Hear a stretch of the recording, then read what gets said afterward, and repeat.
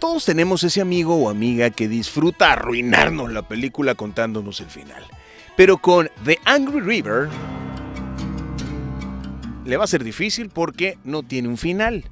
A ver, es algo interesante, fíjese, porque utiliza la tecnología de seguimiento de ojos y la inteligencia artificial para medir a quién está mirando más usted durante toda la película. Y en función de eso, automáticamente, mediante un logaritmo, elige cuál es el final que conviene más.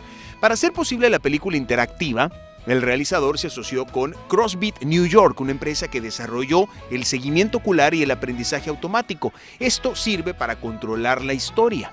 La película se rodó en Oregon y se editó en cinco finales distintos. Cada final dependerá de dónde pose usted los ojos más.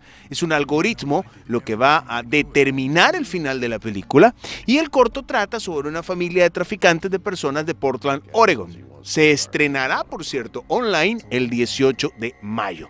La ingeniosa tecnología que lo impulsa ya despertó el interés de los principales estudios cinematográficos y quizá estemos viendo el futuro del cine. Y es el dato insólito de hoy.